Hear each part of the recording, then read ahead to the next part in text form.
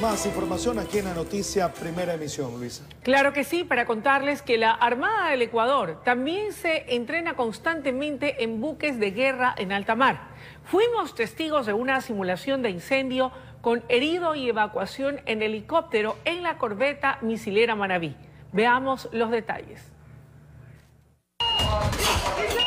La alarma fue anunciada en el área de cocina de la corbeta Manabí, donde activaron inmediatamente protocolos de evacuación y de reacción para controlar la emergencia. Un tripulante que gritaba por quemaduras en una de sus extremidades inferiores.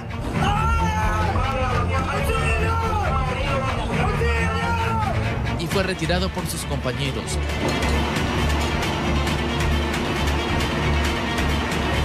Dieron los primeros auxilios en plena navegación, con médicos que están listos para este tipo de trabajo en alta mar, y así salvar la vida de sus compañeros. Posteriormente lo trasladaron hasta un helicóptero, en el que fue llevado hasta una base aérea u hospital, y así puede ser atendido con otros equipos y especialistas.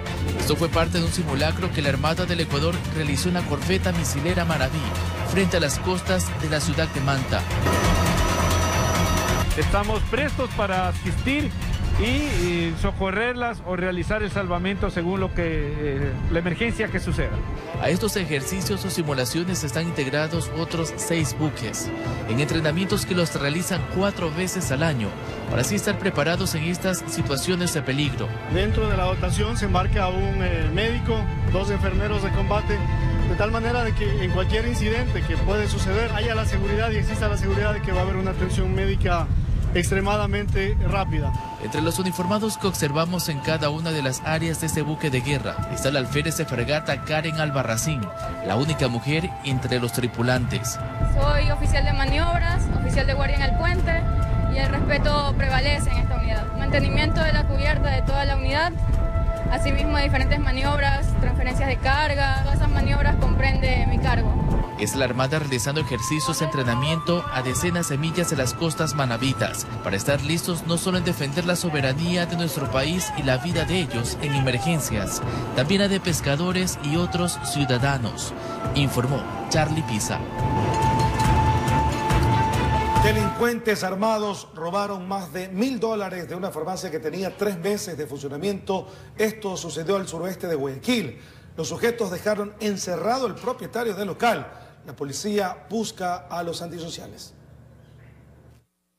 Así quedó esta farmacia ubicada en la 25 y Portete suroeste de Guayaquil, luego de que tres sujetos armados amedrentaron al propietario.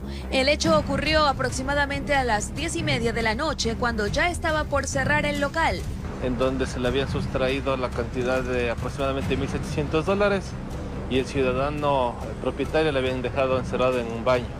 Los tres hombres se movilizaban en un auto, se llevaron el dinero y rápidamente huyeron. Debido a una alerta al ECU 911 llegó la policía al sitio para recabar indicios que les permitan hallar a los responsables del robo. Por ahora en el establecimiento reforzarán las seguridades. Le van a poner lo que son rejas para que no vuelva a pasar lo mismo. Porque por el momento no teníamos cámaras, no hay nada de cámara. Primero habían robado aquí al vecino, le roban a las 10 de la noche. Eh, hace como 8 días robaron allá al frente. Hace como 15, hace el principio del mes robaron a una- un centro de cómputo que está ahí, donde cual sí cogieron a los delincuentes, pero los robos son sistemáticos. Ya la policía está ejecutando las operaciones para localizar a los pillos. Se coordinó con unidades especializadas, en este caso la CIPROVAC, que se encarga de la investigación de delitos a propiedad privada, en donde ellos ya eh, se encuentran explotando los, videos del, del sector para poder dar con los presuntos responsables. Informó Adriana Peralta. El método de venta directa de la compañía Avon ha beneficiado a un sinnúmero de mujeres que buscan independencia financiera, crecimiento personal y a su vez manejar su tiempo. En la siguiente nota les contamos cómo pueden inscribirse para que sean parte de esa lista de representantes y empresarias exitosas. Emprendedores, llega a ustedes gracias al auspicio de Comienza tu propio negocio independiente Avon. Con crédito y con una mínima inversión, podrás crear tu propia tienda virtual gratis. A lo largo de 29 años en Ecuador, Avon ha proyectado la imagen de mujeres emprendedoras, independientes, capaces de ser un soporte financiero en su hogar a través de su método de venta directa, por lo que ya cuentan con 100.000 representantes en territorio nacional. El producto para conseguirlo, ¿verdad? No necesitas ir a un centro comercial, sino más bien el producto te lo llevamos a ofrecer a la puerta de donde está nuestro cliente. A su vez, todo el abanico de productos en categorías como maquillaje, cuidado de la piel, fragancias, cuidado personal, moda y hogar, los pueden adquirir a través de su plataforma digital. Hoy en día nuestros representantes pueden vender en cualquier parte del territorio nacional. ¿Sí? y llegar a cualquier cliente, independientemente donde ellos se encuentren. Tal como maneja su negocio Lorena Álava, representante y empresaria Avon, quien señala que gracias a incursionar en este mundo ha podido adquirir algunos bienes para su casa y manejar su tiempo, destacándose en varios roles. Yo como empresaria Avon doy muchos referidos a nivel nacional, porque también soy muy digital, muy digital. Pongo siempre propaganda en todas las redes sociales y siempre alguien me escribe y yo convenzo a esa persona, esa persona ingresa a Avon y gracias a eso he podido amoblar mi casa. He canjeado una nevera, eh, lavadoras, muchas cosas para mis niños que a veces con el dinero del esposo no alcanza. Tenemos un plan de ganancias que es sumamente atractivo, a través del cual nuestra representante, ¿verdad?, va creciendo en ventas y ese crecimiento en ventas va también dándole acceso a mayores beneficios. Y ponerse en contacto para ser partícipe es muy fácil.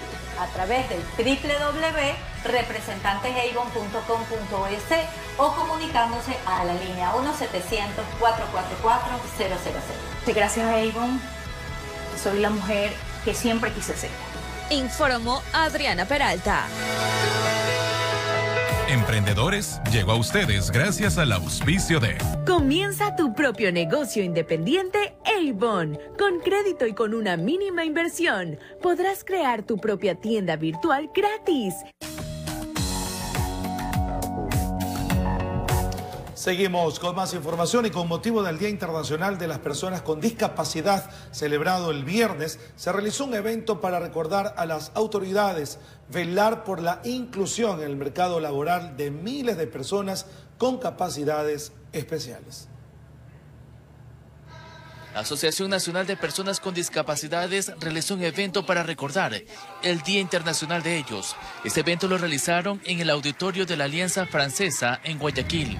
Pero no quiere decir que solamente hoy se trabaje.